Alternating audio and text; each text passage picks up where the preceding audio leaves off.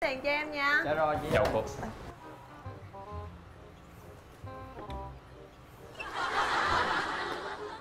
ê tôi phải cúi chào anh đâu nha. Có thấy rớt bóp không? Thì tôi có nói gì đâu. Hẹn gặp lại ha.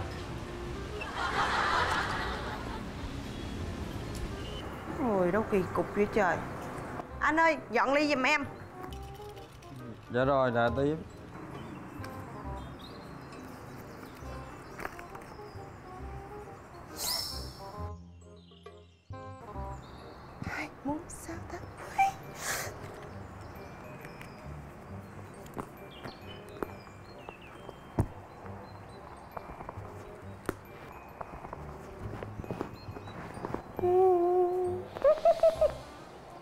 thấy là 65 ngàn nha anh.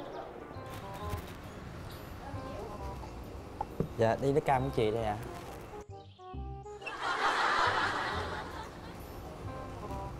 Hắt hơi sổ mũi cảm ho ít nhi dùng sớm con ngoan mẹ mừng. Em có kinh nghiệm dạy kèm không? Dạ em chưa có đi dạy kèm nhiều Nhưng mà kinh nghiệm thì em có chút chút. Vừa trẻ mà còn xinh đẹp nữa. Chắc ba mẹ em vui lắm ha. Dạ em đâu có xinh đẹp gì đâu chị Em chỉ hơi đẹp thôi à? Đã trẻ tuổi, xinh đẹp Mà còn được học ở trường Đại học Khoa học Xã hội và Nhân văn nữa chứ. Ba mẹ em tự hào là đúng rồi. Trường nhân văn. Ừ. Trường nhân văn đó mà đào tạo Chắc chắn là em sẽ dạy giỏi lắm. Chị yên tâm khi gửi con chị cho em. Dạ thật ra em học trường Nè. Chị gửi cho em một tháng lương. Em kiểm tra đi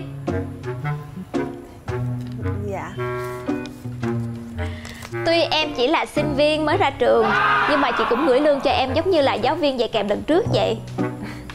Được đào tạo ở trường nhân văn mà Chị rất là yên tâm khi em dạy con chị. Cái gì vậy trời? Mình chưa biết mặt mũi của trường nhân văn là sao Mà cứ nói mình là sinh viên trường đó hoài vậy trời. Nè, em có gì thắc mắc không? Có nên nói mình là sinh viên trường dân văn không? Chứ không phải nhân văn Trời ơi nói ra chắc chắn là bị đuổi liền cho coi. Nó làm sao đây? Không thể bị đuổi được. Lương cao quá nè.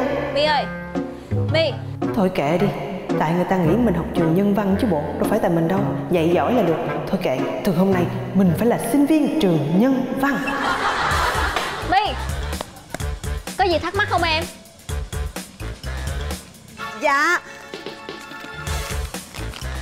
Dạ không Chị ơi à, từ đây về sau á, Có gì chị giúp đỡ cho em nha. Ừ.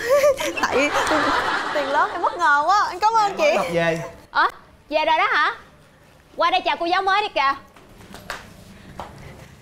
Chào em. Em là Trạng Nguyên đúng không? Trời ơi, dễ thương quá à. Xin giới thiệu với em Cô là Diễm My. Từ đây về sau cô sẽ là giáo viên dạy kèm mới của em. Cô và em chúng ta phải cố gắng lên nha. Yeah Sao mẹ không chịu hiểu con hả mẹ? Con đã nói là ngoài thầy Đức ra con sẽ không học ai hết á. Ve gì mà ve Làm như thân lắm vậy? Cái thằng này Không nghe lời mẹ mà bắt mẹ nghe lời con hả? Dạ không sao đâu chị. Tại tuổi teen mà cho nên ờ, đôi lúc hay bốc đồng lắm. À, Chị cho em ờ, lên nói chuyện với Nguyên một chút xíu thôi Là Nguyên thay đổi liền à. Em có tài thuyết phục lắm đó chị. Ờ Vậy cũng được. Dạ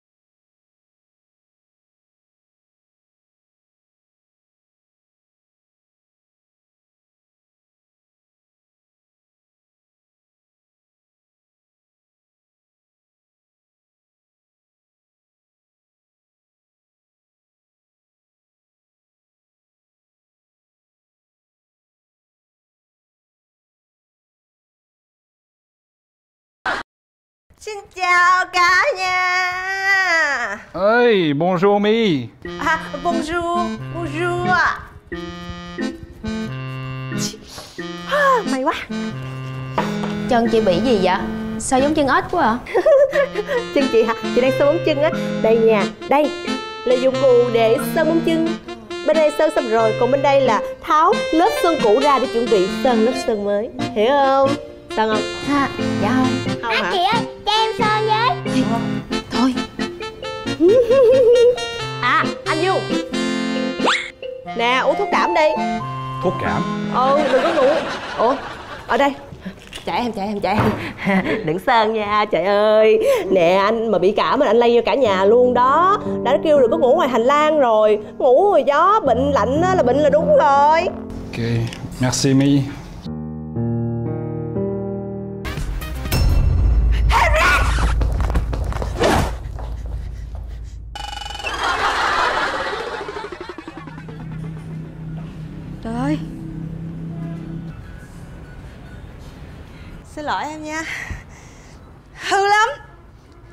Đi về. Chị chị chị. Chị, đi đâu vậy chị? Chị giải quyết chuyện này cho em chứ. Ờ, chị mới thay mặt Harris xin lỗi em rồi đó. Xin lỗi? Nó cắn nát đôi giày 10 triệu của shop em là xin lỗi là sao chị? Ừ, Ví dụ như mà mình đi ăn nhà hàng Mình làm bể cái ly nhà hàng có bắt mình đền không ta? Chuyện cái ly với chuyện đôi giày nó hoàn toàn khác nhau chị. Chị phải giải quyết cho em. Chị um, cho chị đi về đi chứ. Chị ở đây chị không có tiền đền. Chị vừa nói giày ở shop em không đủ đẳng cấp cho chị. Bây giờ chị nói chị không có tiền. Chị không có tiền chị vô đây rồi thử giày làm gì? Chị thử cho biết. Thử cho biết. Có tiền. Chị không có tiền. Tiền trong túi của chị nè. Có, chị có tiền. Ừ, Là chị Tệ rồi Có Nè, giấy này chị đem theo um, Để hốt phân cho Harry Sáng giờ xài mấy miếng còn hai miếng. Còn 12 ngàn để tí đi xe buýt về. Chị nói gì vậy? Nhưng chị sang trọng vậy mà không có tiền. Tới nổi không? Em cũng bất ngờ về chị phải không? Ê, ê, ê th th chị, đi đâu vậy? Chị ờ, chị chị đền chị đền mà đến gì? Cầm đi ờ, có có cấn được gì thì cấn đôi giày này chị mua 15 triệu á. 15 triệu? Em thiếu chị lại 5 triệu nha. Chị nói cái gì? Mấy cái đôi này ở ngoài cửa hàng sida đầy mà. Ừ là sao chị? Em hiểu chị mà phải không nói túm lại là chị giải quyết cho tôi cái vụ này. Đôi giày 10 triệu. Harry đừng nhào vô cắn robot nha. Đó để cấn nợ đó.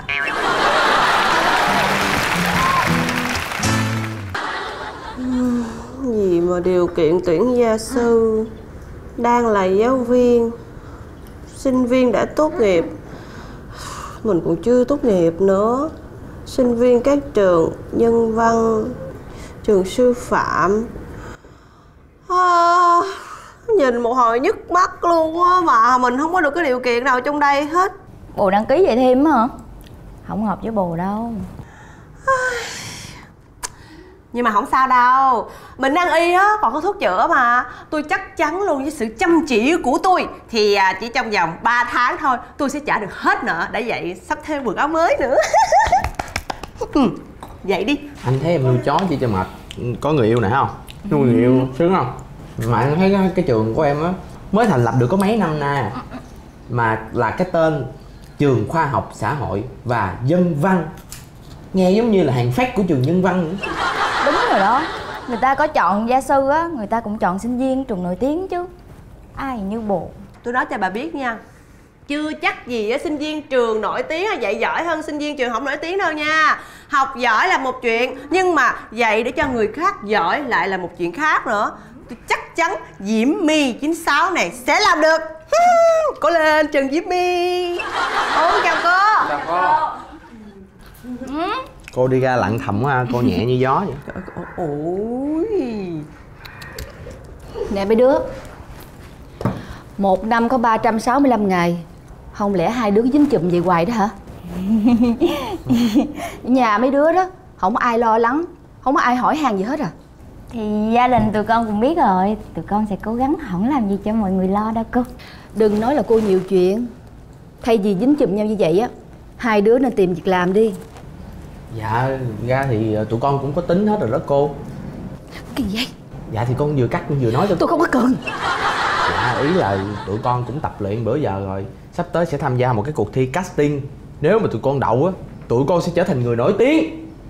Nếu như không đậu thì con đi làm nail thôi. Thôi tùy mấy đứa. Muốn làm gì thì làm. Mà thầy bói nói mặt con sáng lạng lắm luôn á cô. Mặt con là không bao giờ có cửa đi ăn mài đâu á. Cô sao con không tin vậy